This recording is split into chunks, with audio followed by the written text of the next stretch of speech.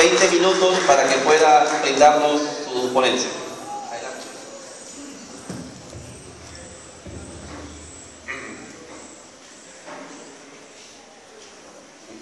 No, puedo, señor secretario general del partido sus colegas de la mesa, correligionarios amigos.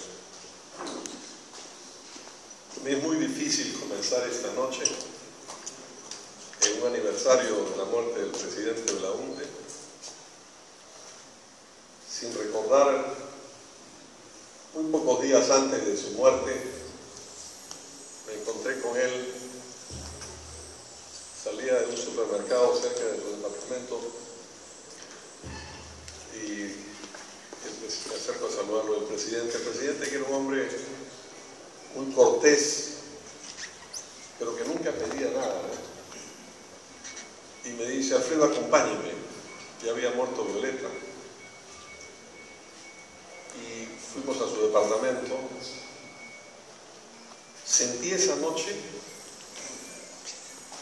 que me estaba despidiendo de él, había tenido yo a lo largo de los últimos 20 años miles de conversaciones con él, en ese altillo en San Isidro, donde casi no había libros extranjeros.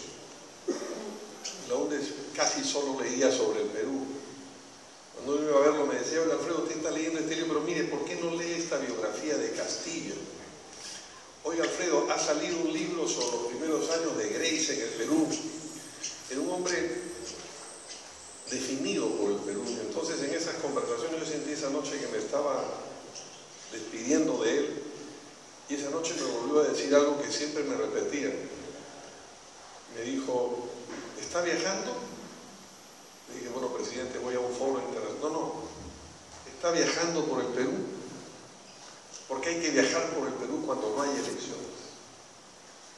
Y no se olvide, me dijo nunca, usted que lee tanto, que es más importante que leer Viajar por el Perú, porque el Perú siempre encierra enseñanzas fundamentales para un buen gobierno. Y por tanto, yo ligo esta noche ese recuerdo emotivo de un hombre que admiré tanto, y al que al, principio a veces yo combatí me terminé siendo admirador y amigo de él después, y lo ligo al recuerdo de esos jóvenes, porque hace tres días hemos celebrado 59 años de una extraordinaria gesta, cuando jóvenes universitarios que no tenían nada, que no tenían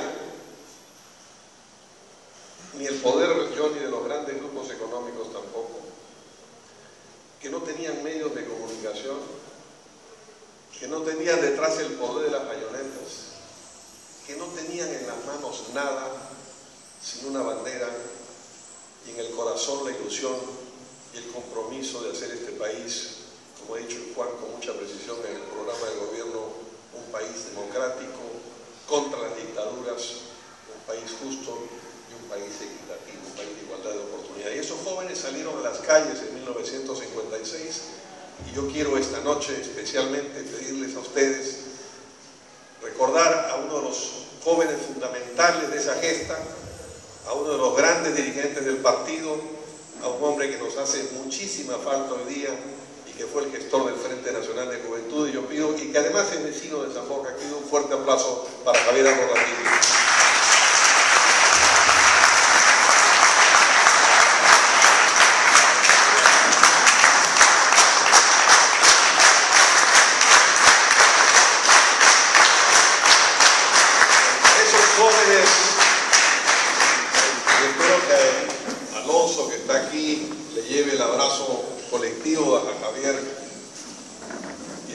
Arrogatini. que le tenemos. Y esos jóvenes que no tenían nada en las manos y su profesor universitario no llegaron a ganar en 1956 las elecciones porque no tuvieron el tiempo para hacerlo, pero salieron inmediatamente a recorrer el país y encontraron en la geografía, en la historia y en la cultura del país algunas lecciones fundamentales encontraron la lección, decía don Fernando, de la vialidad. de que esos ejes viales habían logrado hacer en el pasado un gran imperio. Encontraron además la ecuación, y este es un elemento, para el programa fundamental, que esta viabilidad estaba unida a una ecuación hombre-tierra. Encontraron también la fuerza de lo que don Fernando llamó la filantropía de los pobres, la fraternidad social, la minca, y que fue el inicio de la cooperación popular.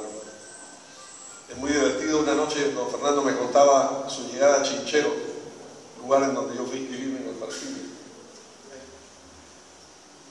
Me dijo don Fernando, yo teníamos hambre, venían en un taxi alquilado con cuatro jóvenes de arquitectura, entre ellos los jóvenes que acompañaron a don Fernando, Eduardo Reo, Javier Velarde, Lucho Fier, Carlos Pestana, y pararon brevemente en Chinchero, no el Chinchero del Cusco, sino el Chinchero de Apurímac, la provincia que está pegada a Ayacucho. Y querían seguir camino para llegar a Ayacucho, pero se acercó el alcalde del pueblo, que le dijo al presidente, todavía no presidente, arquitecto Belaúnde Terry, yo no soy de su partido, pero quiero que sepan ustedes, es un honor para nosotros Entonces Fernando me decía, tuve que empezar a conversar con él. Y ahí donde viene el famoso diálogo, es interesante el colegio, lo hizo el gobierno de Rodríguez. Como arquitecto pueblo lo hizo. Y fueron a verlo en la iglesia y dijo, es interesante el campanario, qué bien hecho está, lo hizo el arzobispado de Cusco, lo hecho el de Ayacucho. No arquitecto, el pueblo lo hizo. Y de ahí sale la famosa y extraordinaria oración de Chinchero que está en pueblo por pueblo, donde don Fernando dice luego cuando escribe, dice, cuando uno sale de los pueblos por cualquiera de los serpenteantes caminos andinos, vuelve la vista atrás y pregunta, ¿quién hizo el camino? La respuesta vuelve a llegar como un eco de la historia de ayer y de hoy, pero sobre todo de la profecía de mañana. El pueblo lo hizo.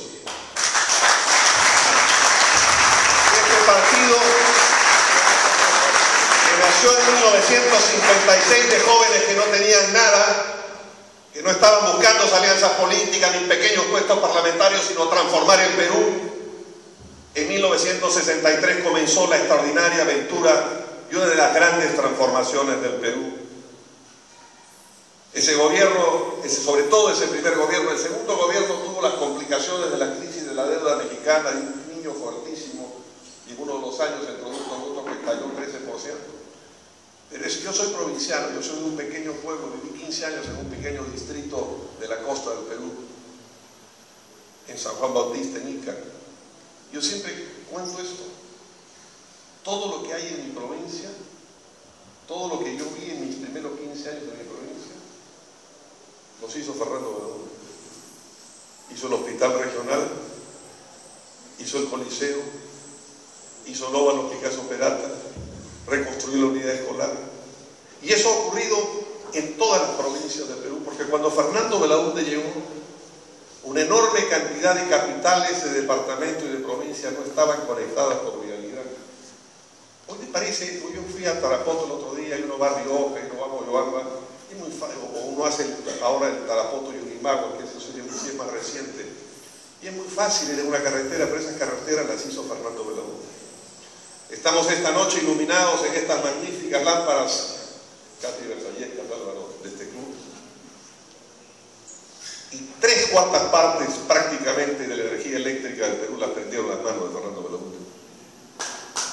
Y hablamos, hablamos, hablamos del agua, por ejemplo. Dos tercios de las irrigaciones, no de los últimos 10, 20, 30 o 50 años, de la historia de la República del Perú las hizo el gobierno de Fernando Belaúnde. Y hoy hablamos del oxígeno, del agua como de las materias fundamentales del siglo XXI que están alojadas sobre todo en la extraordinaria cuenca amazónica que compartimos con Brasil, que es la gran extensión del territorio sudamericano. Y esa región no fue hollada por nadie, no en un gobierno, no en dos gobiernos, a lo largo de la historia milenaria.